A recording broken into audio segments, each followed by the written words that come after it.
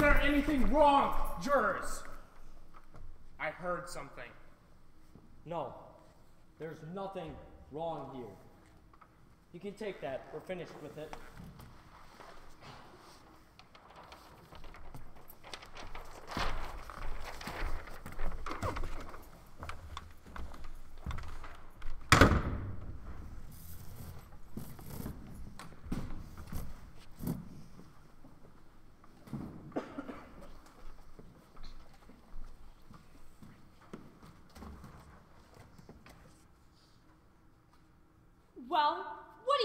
Looking at? I don't see why we have to behave like children here. Neither do I. We have a responsibility. This is one of the remarkable things about democracy. That we are. Uh, ha! Notified. That we are notified by mail to come down to this place and decide on the guilt or the innocence of a man. A man who we have not known before. We have nothing to gain or to lose by this verdict. This is one of the things that makes us strong. We should not make it a personal thing. Thank you very much. Why do you think? We forget. It's important to be reminded. I'm glad we're going to be civilized about this. Well, we're still nowhere. No, I think we're getting somewhere. Maybe we're getting somewhere. Maybe. Who's got an idea? I think we should try another vote. Mr. Foreman? It's all right with me. Anybody doesn't want to vote? Let's vote. Yes, vote. So, all right, let's do it. I want an open ballot. Let's call out our votes. I want to know who stands where. Sounds fair. Anyone object? All right, I'll call out your jury numbers. I vote guilty. Two, Not guilty. three, Guilty. four, Guilty. five, Not guilty. six, Not guilty. seven, Guilty.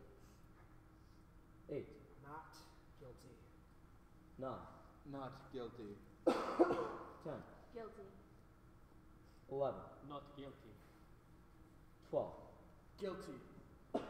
That's six to six. I'll tell you something. A crime is being committed in this room right now. The vote is six to six. I'm ready to walk into court right now and declare a hung jury. There's no point in this going on any longer. I'd like to know why you've changed your vote, and why you did, and why you changed yours.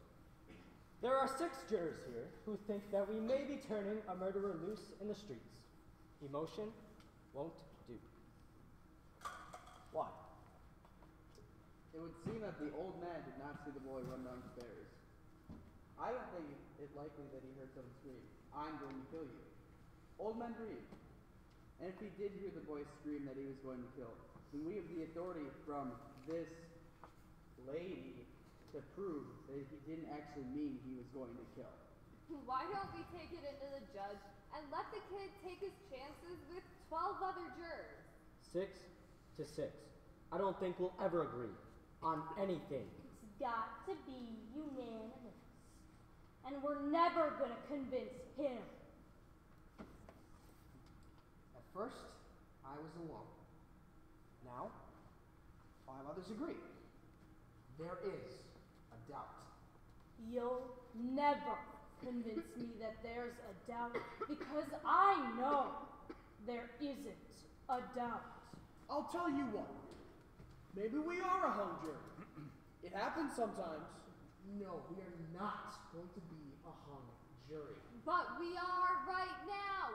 A perfect balance. Let's take it into the judge. If there is a reasonable doubt, I don't see it. The doubt is there, in my mind. Maybe we should vote. What do you mean, vote? Not again. I still want to know. Vote on what? Are we Or aren't we a hung jury? Wait, let me get this straight. You're asking us to vote yes or no, as in we are or are not a hung jury? Yes, that's exactly what I was thinking. We can't even agree on whether or not the window should be open. then we'll make it a majority vote. The majority wins. If seven or more of us vote that yes, we are a hung jury, then we take it into the judge and declare ourselves a hung jury. Right, and if seven or more vote no, that we aren't a hung jury, so then we go on, discussing it. It doesn't seem quite right to me. It's the only solution. I agree. It's the only way. Anything to end this. So seven or more vote yes, and we take it to the judge? Let's call our votes out. I vote yes. Two, No. three, Yes. four, yes. Five, No. Six, No. seven, Yes. eight, No. nine, No. ten, Yes. eleven, No. twelve. Yes. Oh, no! It's six to six. We can't even get a majority to decide whether or not we're a hung jury. I went with the majority on this vote. And I didn't agree with voting that way. Not really. And I still don't. So I'm changing my vote. I say no. We are not a hung jury. I believe the boy is guilty beyond a reasonable doubt. There are some things, however, that I would like to find out from those who have changed their minds. So then we are not a hung jury. So we go on. Good. We'll go on. Why did you change your? He he just seems so sure. And he's made a number of good points. While she only gets mad and insults everyone. Does the anger and insult of one juror change the guilt of the boy? He did do it. Are you going to turn a murderer loose just because one of the jurors gets angry when she thinks that we are turning a murderer loose? That's true. There is a doubt. I don't think so. The tracks are right next to the house. Let's take that fact. Out trains, they make a low rumbling noise as they go by, and they screech when they go around curves. So the old man could have heard a shout, which is high pitched. Also, it was a tenement, so they have thin walls. Good, good. That's it, that's it. And what if the old man was wrong about the amount of time it took him to get to the front door, but right about whom he saw? Please remember, there were no fingerprints, and it's summer, so gloves are unlikely. Now I want you to listen to this man. He's got the goods. Also, it may have taken a second or two to get out a handkerchief and wipe away the fingerprints. Why don't we time this one just to see? Just what are we timing? Yes, let's be exact. I'm saying that the old man might have been wrong about the amount of time it took him to get to the front door, but that he was right about whom he saw. It may have taken the murderer about 39 seconds to wipe away the fingerprints and run down the stairs to where the old man would have seen him. The boy, that is. This is right. We reconstructed the old man getting out of the bed and going to the door. And we timed that. Now let's reconstruct the actual crime. As well as we can reconstruct it. I think a murderer could use up 30 or 40 seconds pretty easily at that point. Let's reconstruct the killing. Yes, let's. Here. You do the stabbing. No. I'll do it. Why don't you be the one that gets stabbed? You're younger than I am. and remember, you take one second to fall. Also, the father was found on his side, his right side. So fall and roll onto your right side. If someone hates another person enough to kill them, don't you think that it's quite reasonable to assume that they would look at their victim for about a second or two? Divorce yourself from this particular case. Just human nature. Yes, that seems reasonable. Hey, one more thing. he falls and he ends up on his right side, the father did, but Stabbing someone isn't like shooting them, even when it's right in the heart. He would have worked around for a bit, lying there on the floor, writhing, maybe. Yes, that's a point. There would have been enough oxygen in his system to carry him for about two or three seconds, I should think. Um, well then, wouldn't the father have cried out? Maybe the kid held his mouth. This also seems plausible. Also, there's another point we might bring up. Anyone who is clear enough mentally to wipe away the fingerprints after murdering someone, well, that person is also clear enough mentally to check around the apartment, or the room in this case, to see if there are any other clues. It would just be for a second or two, I should think, but still, they would check. We're trying to make it clear. One doesn't talk about quality when murder is involved. Well, let's do it. About this on the fingerprints. The boy wiped the fingerprints off the knife. But what about the doorknob? If I saw a man coming into my home, a man that hated me, I saw him wiping off the doorknob with a handkerchief as he was walking in, it'd give me an uneasy feeling. So the doorknob must have been wiped off after the killing. This too would have taken some time. You time the last one. Why don't you time this one too? All right. Just stamp your foot when you want me to start. I want the hand to be at 60.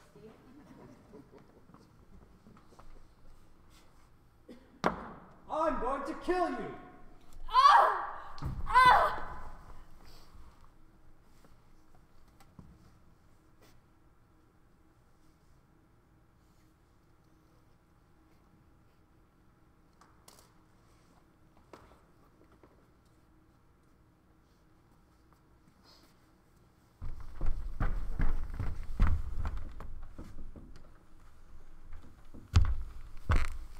What are you, you're just eating up time at this point. He would have wiped both knobs. Stop! 20, yeah, 20, 25, about 29 and a half seconds, I'd say. And whoever did stab the father, and I think it was the boy, still had to run down the hall and down the stairs. At least one flight of stairs. You see? You see? The old man may have been wrong about the amount of time it took him to get to the front door. But in view of this, I think it's quite reasonable to assume that he did see the boy. So now both time sequences check out. The one you did and the one we did. But with the kid running down the stairs and all, it does seem to pretty much check out on times. Sure. He's an old man who wants attention. He's probably right. But the old man feels the same way everyone else does. A life is at stake here. So the story of the old man may very well be true. Yes, except for the fact that on the stand he swore, under oath, mind you, that it was only 15 seconds. We seem to all agree that it was at least 25 to 40 seconds later. Yes, while this does seem to prove the story of the old man, he is now a liar. This is by your own admission. Well, it may be true that the old man lies in part, but I think it will change my vote once more. Guilty. What about you? What do you think now? I'm just not sure what I think. I want to talk some more.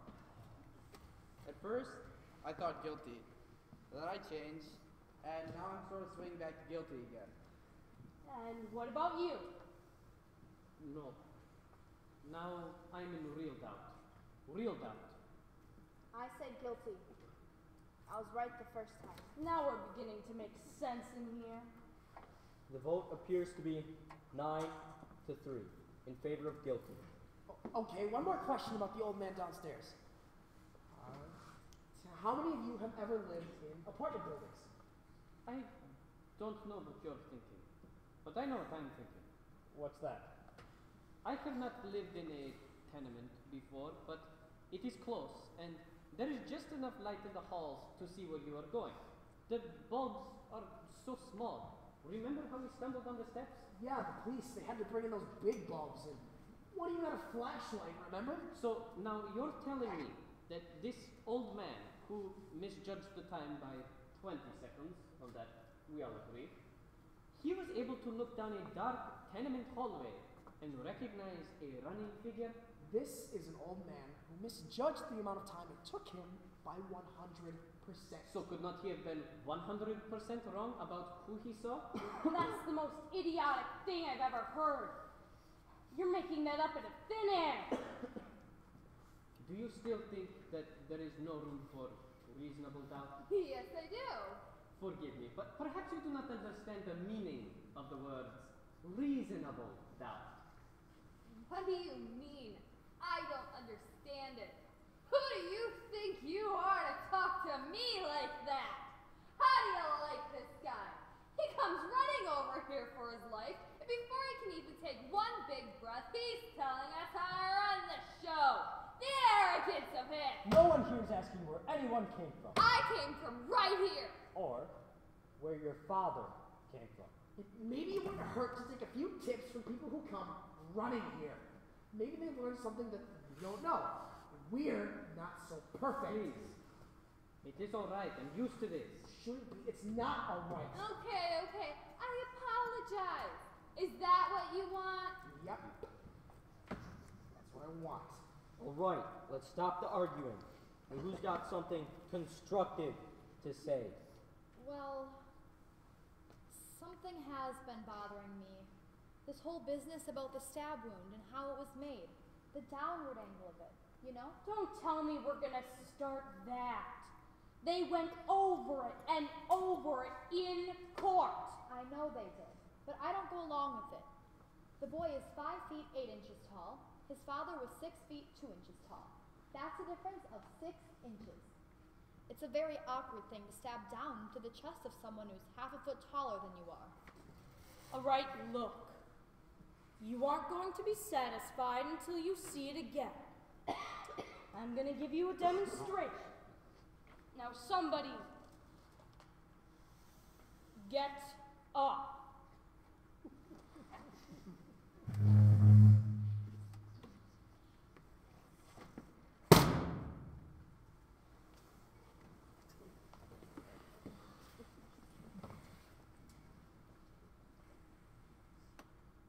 Okay, now I want you to watch this. I don't want to have to do it again. Is that six inches? Well, it's more than six inches. Okay, let it be more.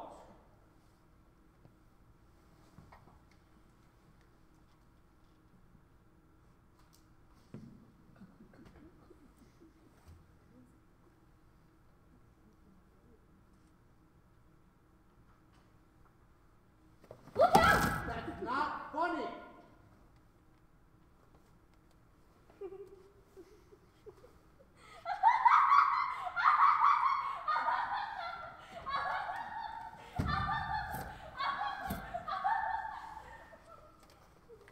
What's the matter with you? Oh, calm down.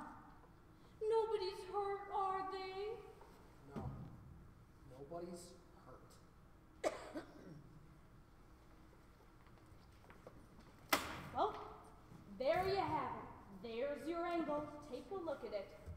Down and in. That's how I'd stab a taller man in the chest, and that's how it was done. Take one look at it and tell me I'm wrong. Down and in. I guess there's no argument. No argument, huh? Well, let me ask you, have you ever stabbed a man? Of course not. Have you? No, it's not silly. Have you? No, I haven't. Well, then where do you get all your information about how it's done then?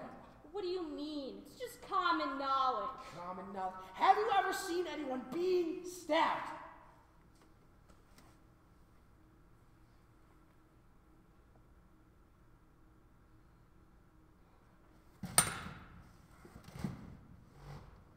No. That's what I thought. All right, now, there's something I've been meaning to ask you. This kid was an experienced knife fighter, so much so that he was sent to reform school for knife fighting, yeah? That's right. All right, well, look at this.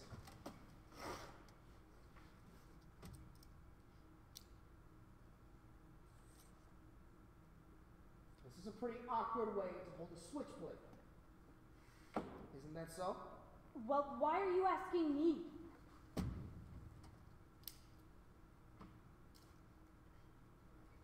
Wait a minute. What's the matter with me? Give me that knife. Have you ever seen a knife fight? Yes, I have. Oh, well, in the movies. In my backyard. On my stoop. In the vacant lot across the street. Too many of them. Switchblades came in the neighborhood where I live. Funny. I didn't think of this before. Anyone who's ever used a switchblade would never have stabbed downward. You don't handle a switchblade that way.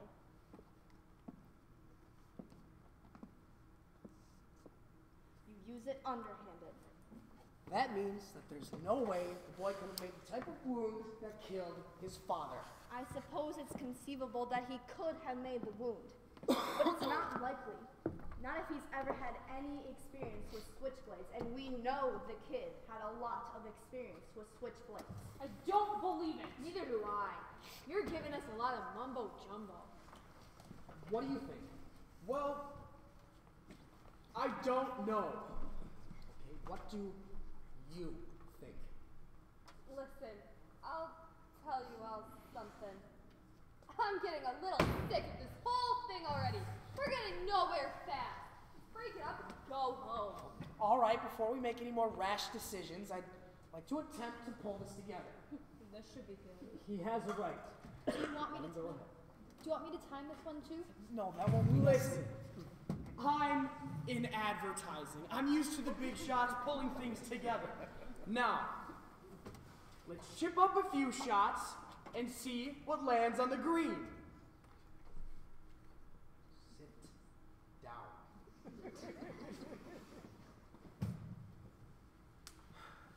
All right, now, I want you all to look at this logically and consistently. We have. Guilty. I want to ask you something. Is this a smart kid, or is this a dumb kid? What do you mean?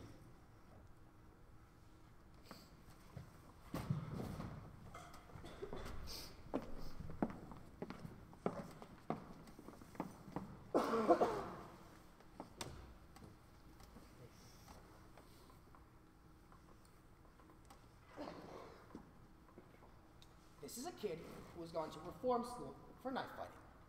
On the night of the murder, he bought a knife, a switchblade. Now, it would in turn make, take a very stupid kid to buy an instrument that everyone would associate with him, with him, especially on the night of his father's murder. I quite agree. The kid's stupid. However, if he's so stupid, why would he make the kind of wound that would lead us to suspect an amateur? And we know this kid isn't an amateur. Not sure I understand. Okay. To kill someone must take a great deal of emotion, a great passion, a great hatred. And in that moment, the kid would have handed the, kni- handled the knife as best he could, as he had been trained to. Underhand. Not as an amateur would overhand. But if this is the case, the kid is being very smart. He makes the type of wound that would lead us to suspect that someone else did it. This man is a smart man. Smart enough even to wipe the fingerprints off the knife, and maybe even smart enough to wait for an L train to go by to cover the noise. Now, I want to ask again. Is this kid smart? Or is he dumb? Well, The woman across the L tracks, she saw the murder through the windows of a passing L train. So someone in that L train could have seen the murder too. Yes, a possibility, but that's no one that we know of up until this point.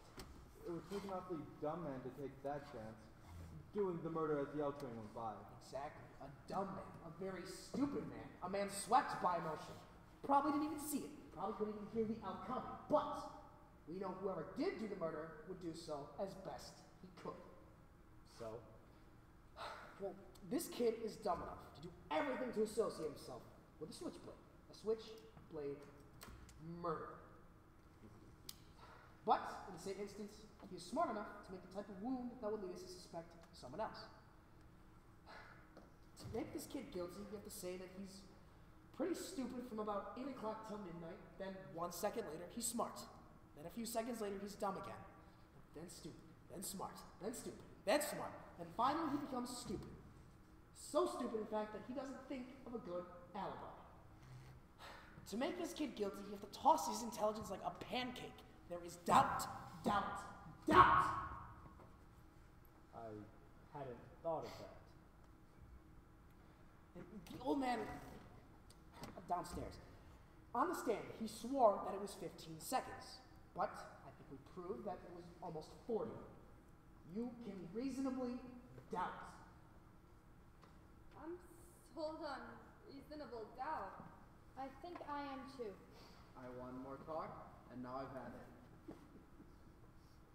I want another vote. Another vote is called for. I believe that the easiest way would be a show of hands. All those voting not guilty, raise your hands. Nine. Those for guilty? Three. The vote is nine to three. In favor of acquittal. I don't understand you people. How can you believe that this kid is innocent? Look, you know how those people lie. I don't have to tell you. They don't know what the truth is.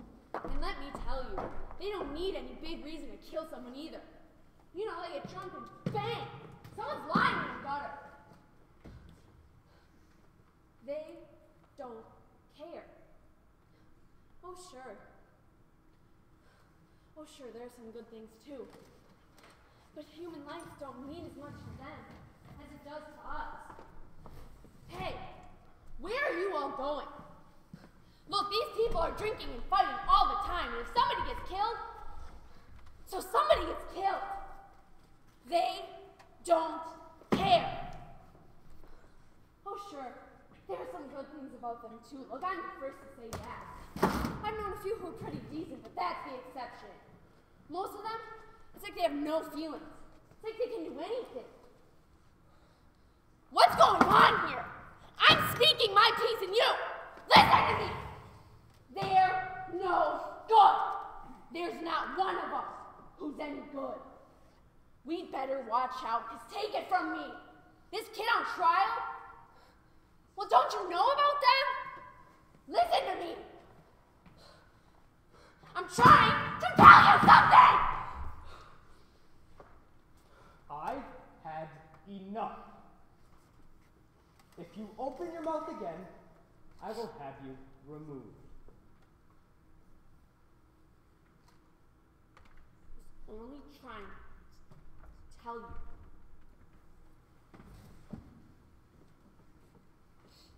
All right. Sit down. Everyone.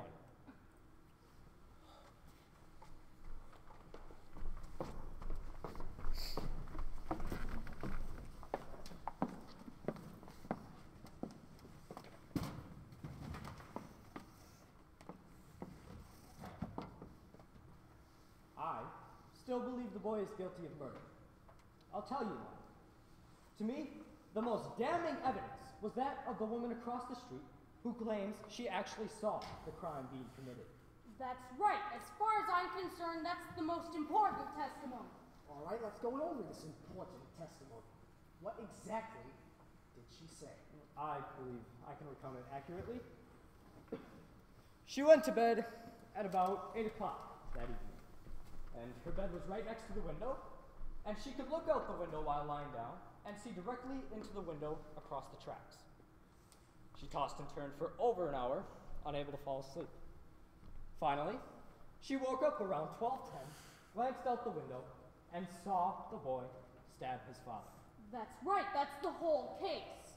Frankly, in view of this, I don't see how you can vote for acquittal. What do you think? Well, there's so much evidence to sift. What do you mean? He's absolutely right. You can throw out all other evidence. That was my fear. Now, I don't deny the validity of the points that he has made. Shall we say that on one side of the tracks there is doubt? But what can you say about the woman? She saw it. What time is it? Oh, um, ten minutes of six. You don't suppose they'd let us go home and finish in the morning? I've got a kid with the mums. Not a chance. Can you not see the clock from here without your glasses? Not clearly. Oh. Glasses are a nuisance, aren't they? Um, well, let me ask you. When you wake up in the middle of the night and want to know what time it is, what do you do? I put on my glasses and I look at the clock. I just wait for the clock to chime. My father gave it to uh, when I married. Uh, my wife and I. It was ten years before we had any place to put it. Um, I think it's safe to assume you don't wear them to bed. Of course not. Nobody wears eyeglasses to bed. What about the woman on trial? She wore glasses. Did she wear glasses? Of, of course. She wore bifocals. They looked quite strong. I remember this very clearly. Yes, that's right. Bifocals. She never took them off. Funny. I never thought of that. It's my assumption that she didn't wear them to bed, and I don't think that she put them on at a casual glance out the window. And while I don't deny that she thinks she saw the boy, I think she only saw a blur. Well, how do you know what she saw? Maybe she's farsighted. How does he know all of these things? Does anyone still believe that there is no room for reasonable doubt? I will always wonder, but there is reasonable doubt. I think the kid's guilty. Does anyone else? No. I'm convinced now. There is a reasonable doubt. Eleven votes, not guilty. One vote, guilty. You're alone.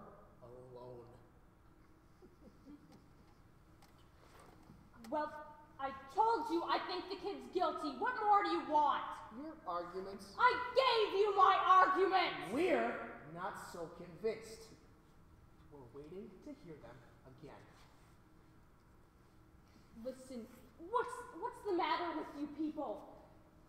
You you can't switch now. You're the guy. You make all the arguments. A guilty man is going to be walking the streets. A murderer has got to die. Stay with me. I'm sorry. I'm convinced. I don't think I'm wrong often, but I guess I was this once. There is a reasonable doubt in my mind. You you all aren't going to intimidate me. I have a right to my opinion. It's gonna be a hung jury, that's it! Well, really, there's nothing we can do about that. Except hope why, maybe in a few months, that you might get some sleep.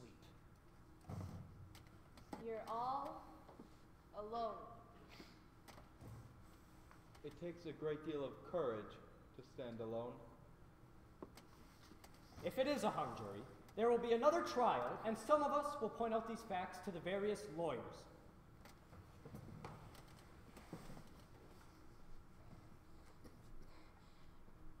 All right!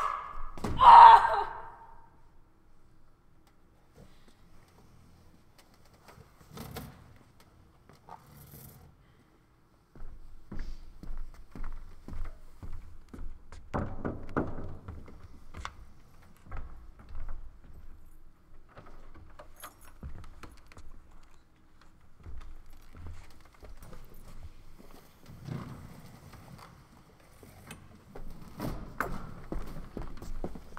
They're waiting. Not guilty.